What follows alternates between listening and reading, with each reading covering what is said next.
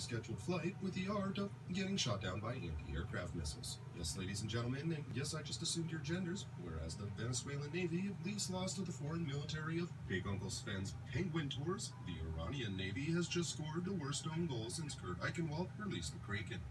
Wait, what?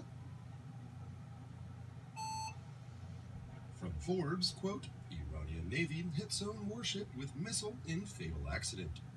Navy has confirmed that 19 people died when one of its warships was hit by a missile during a training exercise. 15 more are reported to have been injured. The mishap took place off the Iranian port of Jask in the Sea of Oman on May 10th. The warship that was sunk, Konarak, is used as a general purpose vessel. Her core crew is only 15 people, many fewer than the reported number of dead and injured. The missile was reportedly fired from the frigate Jamaran. It has not yet been confirmed which type of weapon was involved, but the 1,500 ton warship is armed with C 802 Noor anti ship missiles. These are an Iranian development of a Chinese weapon and are broadly equivalent to the U.S. Navy's Harpoon missile. Then that's where we start to understand the problem with the Iranian Navy.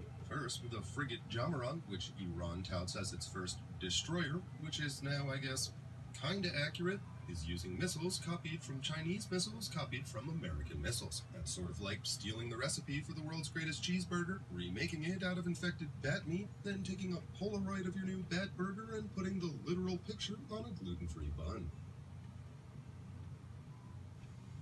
As for the ship that was sunk, the Konarak, with its mysterious overstaffed crew, this 40 year old rust canoe was purchased from the Dutch by the former Shah shortly before he was overthrown in 1979.